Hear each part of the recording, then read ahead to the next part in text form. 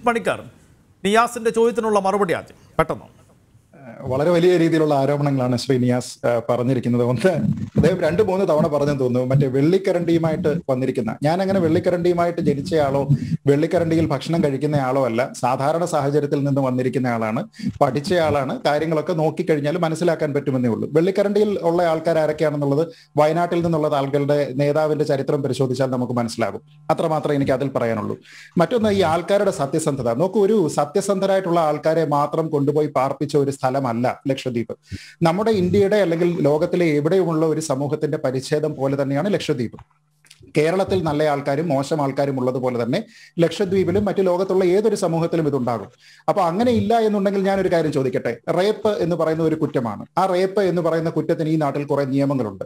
I T act പ്രകാരമുള്ള കുറെ അധികം നിയമങ്ങളുണ്ട്. ഈ നിയമങ്ങളൊന്നും ലക്ഷദ്വീപിൽ ബാധകമല്ല എന്നാണോ താങ്കൾ പറയുന്നത്? സത്യസന്ധരായിട്ടുള്ള ആൾക്കാർ മാത്രം താമസിക്കുന്ന സ്ഥലമാണ്. അവിടെ നമുക്ക് ഗുണ്ട ആക്ട് വേണ്ട ഐ ടി ആക്ട് വേണ്ട പോലീസ് ആക്ട് വേണ്ട. എന്തിനാണ് അവിടെ പോലീസ് സ്റ്റേഷൻ? അതങ്ങ് മാറ്റിക്കൊള്ളൂ. അങ്ങനെയാണോ പറയേണ്ടത്? അങ്ങനെയല്ല. നിയമം എന്ന് പറയുന്നതും അതിന്റെ ശിക്ഷാ നടപടികളും ഒരു ഡെറ്ററന്റ് കൂടിയാണ്. ഇന്ന് കളക്ടർ അത് വളരെ വ്യക്തമായിട്ട് പറഞ്ഞു. ഒരു നിയമം കൊണ്ടുവരുന്നത് ഒരു ഡെറ്ററന്റ് ആയിട്ട് കൂടിയാണ്. അതുകൊണ്ടാണ് അത് കൊണ്ടുവരുന്നത്. താങ്കൾ അത് ദയവ് ചെയ്ത് മനസ്സിലാക്കുക. രണ്ട് താങ്കൾ പറഞ്ഞിരിക്കുന്നത് ഇവിടെ വീടുകൾക്കൊന്നും കഥക് പോലും ഇല്ലാതിരിക്കുന്ന ഒരു സാഹചര്യമാണ് അവിടെ ഉള്ളത്. അത് അപൂർവമാണ് മറ്റെങ്ങും അങ്ങനെ ഇല്ല. ഗോത്രവർഗങ്ങളുടെ ഇടയിൽ മാത്രമേ ഉള്ളൂ എന്ന് താങ്കൾ പറഞ്ഞു. അത് ഇന്ത്യയുടെ മെയിൻ ലാൻഡിൽ അങ്ങനെയല്ല വീടുകളിൽ കഥക് വെച്ചിട്ടല്ലാതെ ജീവിക്കാൻ പറ്റുന്ന സാഹചര്യമില്ല എങ്കിൽ അറുപത് വർഷം ഭരിച്ച കോൺഗ്രസിന്റെ ഭാഗമായിട്ട് നിൽക്കുന്ന താങ്കൾ തന്നെയാണ് അതിന് മറുപടി പറയേണ്ടത്. എന്തുകൊണ്ടാണ് ഇവിടെയുള്ള മെയിൻ ലാൻഡ് ഇന്ത്യയിലുള്ള ആൾക്കാർക്കെല്ലാം വീടിൽ കഥകൾ വേണ്ടി വന്നത് എന്ന് താങ്കൾ തന്നെ പറയണം. അല്ല എങ്കിൽ അവിടെയുള്ള ആൾക്കാർക്ക് അതിന് പറ്റുന്ന സൗകര്യങ്ങൾ താങ്കളുടെ ഭാഗത്തു നിന്നുള്ള സർക്കാർ നൽകിയില്ല എന്ന് മാത്രമേ ഞാൻ മനസ്സിലാക്കിയുള്ളൂ. മറ്റൊന്ന് താങ്കൾ പറഞ്ഞു ഫാമിലി പ്ലാനിംഗ് എന്ന് പറയുന്നത് മുസ്ലിം മതവിഭാഗങ്ങൾക്ക് പറ്റില്ല എന്ന്. അങ്ങനെയല്ല നമ്മുടെ നാട്ടിലുള്ളത് മുസ്ലിം മതവിഭാഗങ്ങളുടെ നിയമം അനുസരിച്ചല്ല ഇന്ത്യൻ കോൺസ്റ്റിറ്റ്യൂഷനും പാർലമെന്റ് പാസ്സാക്കുന്ന സംസ്ഥാനങ്ങൾ പാസ്സാക്കുന്ന നിയമം അനുസരിച്ചാണ് ഫാമിലി പ്ലാനിംഗ് എന്ന് പറയുന്നത് ഇന്ത്യയിൽ മൊത്തത്തിലാണ് വരുന്നത് എങ്കിൽ അതിന് ഒരു വിഭാഗവും അതിൽ നിന്ന് എക്സംപ്റ്റഡ് അല്ല. അപ്പൊ അതിന് ചില നിയന്ത്രണങ്ങൾ കൊണ്ടുവരികയാണെങ്കിൽ ഞാൻ നേരത്തെ പറഞ്ഞല്ലോ രാജസ്ഥാനിൽ കോൺഗ്രസ് ആണ് ഈ പരിഷ്കാരം കൊണ്ടുവന്നിരിക്കുന്നത്. രാജസ്ഥാനിൽ മുസ്ലിങ്ങൾ ഇല്ലേ? അതോ രാജസ്ഥാനിൽ മുസ്ലിം ഭൂരിപക്ഷമായിട്ടുള്ള സ്ഥലങ്ങളിൽ നിന്ന് കോൺഗ്രസ് ഇതിന് എക്സംഷൻ കൊടുത്തിട്ടുണ്ടോ? എന്ത് വിഡ്ഢിത്തമാണ് പറയുന്നത്? അപ്പൊ ഇതൊക്കെ ഒരു പൊതുസമൂഹത്തിന്റെ ഭാഗമായിട്ട് നടത്തുന്ന കാര്യങ്ങളാണ്. ജനസംഖ്യാ വർധനവ് തടയുക അല്ലെങ്കിൽ നിയന്ത്രിക്കുക എന്നുള്ളതാണ് നിയമത്തിന്റെ ഉദ്ദേശമെങ്കിൽ ഗോത്രവർഗങ്ങൾക്ക് എക്സംഷൻ ഉണ്ട്. ശ്രീധേ ഗോത്രവർഗങ്ങൾക്ക് എക്സംഷൻ ഉണ്ട്. ഞാൻ പറഞ്ഞോട്ടെ ഗോത്ര ഏത് ഗോത്രവർഗമാണ് അവിടെ താമസിക്കുന്ന ആൾക്കാരിൽ എത്ര ഗോത്രവർഗത്തിലുള്ള അറുപത്തി അയ്യായിരം പേരാണ് രണ്ടായിരത്തി പതിനൊന്നിലെ സെൻസസ് അനുസരിച്ചുള്ളത്? എത്ര പേരാണ് ഗോത്രവർഗമെന്ന് താങ്കൾ ഒന്ന് പറയുമോ? തൊണ്ണൂറ്റിയാറ് ശതമാനത്തിൽ കൂടുതൽ ആൾക്കാർ വരുന്നത് മുസ്ലിങ്ങളാണ്. മുസ്ലിങ്ങളിൽ ഏതൊക്കെ ഗോത്ര വിഭാഗങ്ങളാണ് അവിടെ പ്രവർത്തിക്കുന്നത് താങ്കൾ പറയുമോ? ഏതാണ്ട് രണ്ട് ശതമാനത്തോളമോ മൂന്ന് ശതമാനത്തോളമോ വരുന്ന മുസ്ലിം ഹിന്ദുക്കളും ബാക്കി വരുന്നത് വളരെ ചെറിയ ശതമാനത്തിൽ ജൈനന്മാരും സിഖുകാരും ഒക്കെയുള്ള സ്ഥലമാണ്. ഏതൊക്കെ ഗോത്ര വിഭാഗങ്ങളാണ് അവിടെ ഉള്ളതെന്നും അവരുടെ സ്ട്രെങ്ത് എത്രയാണെന്നും താങ്കൾക്ക് ഈ ചർച്ചയിൽ ഒന്ന് പരസ്യമായിട്ട് പറയാൻ കഴിയുമോ?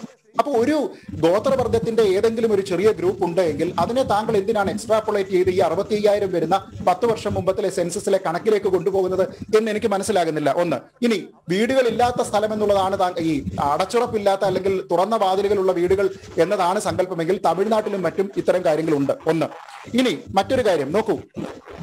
ബീഫ് നിരോധനം. താങ്കൾ എന്തൊക്കെയാണ് എന്റെ പേരിൽ ആരോപിച്ചത്? ഞാൻ ഇവിടെ വളരെ വ്യക്തമായിട്ട് പച്ച മലയാളത്തിൽ പറഞ്ഞത് ബീഫ് നിരോധനത്തിനെ ഞാൻ അംഗീകരിക്കുന്നില്ല എന്ന് തന്നെയാണ്. ആ ആൾക്കാർക്ക് ഭക്ഷണം കഴിക്കാനുള്ള സ്വാതന്ത്ര്യത്തിനെ ഒരു സർക്കാരും നിയന്ത്രിക്കാൻ പാടില്ല എന്നാണ്. താങ്കൾ പിന്നെയും ശ്രീജിത്ത് പഠിക്കുന്ന അല്ലെങ്കിൽ ശ്രീജിത്തിന്റെ മക്കൾ പഠിക്കുന്ന സ്കൂളുകളിൽ ഇന്നത് കൊണ്ടുവരണം പന്നിയിറച്ചി കഴിക്കണം ബീഫ് കഴിക്കണ്ട എന്നൊക്കെ പറഞ്ഞു കഴിഞ്ഞാൽ ശ്രീജിത്തിന് എന്ത് തോന്നുമെന്ന് ചോദിച്ചു കഴിഞ്ഞാൽ എന്റെ മറുപടി അത് തന്നെയാണ്. ബീഫ് നിരോധനത്തിനെ എതിർക്കുന്നയാളാണ് ഞാൻ. നിർബന്ധമായിട്ട് ഭക്ഷണം കഴിപ്പിക്കുന്നതും കഴിക്കുന്ന ഭക്ഷണം പ്രിവെന്റ് ചെയ്യുന്നതും തെറ്റാണെന്ന് കരുതുന്നയാളാണ് ഞാൻ. ഇനി എനിക്ക് താങ്കളോട് തിരിച്ചുള്ള ചോദ്യം.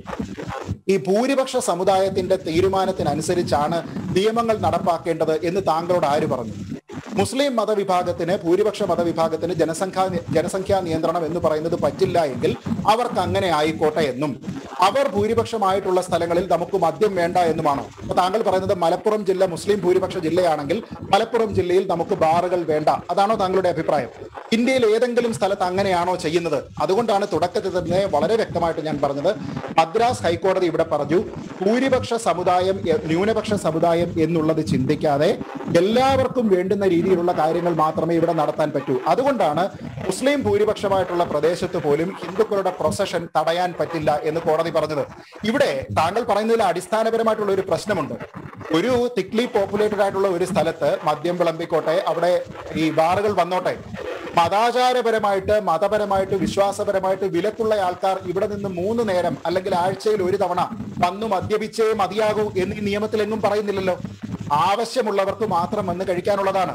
അതിപ്പോ ഗുജറാത്തിലായാലും കേരളത്തിലായാലും അങ്ങനെയാണ്.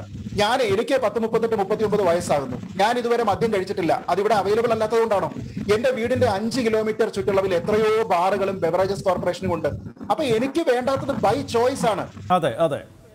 ഞാൻ കഴിക്കുന്നില്ല. വേണ്ട ആൾക്കാർക്ക് കഴിക്കാം. അപ്പൊ അതിന്റെ അർത്ഥം ലക്ഷദ്വീപിൽ ബാറുകൾ വന്നു എന്ന് കരുതി. അത് ടൂറിസം അല്ല അല്ലാത്ത ആവശ്യത്തിനാണെന്ന് പോലും കരുതിക്കോളൂ. ശ്രീജിത്ത് ഞാൻ ഒന്ന് ഇടപെട്ടോട്ടെ. ഞാൻ ആ വിഷയത്തിൽ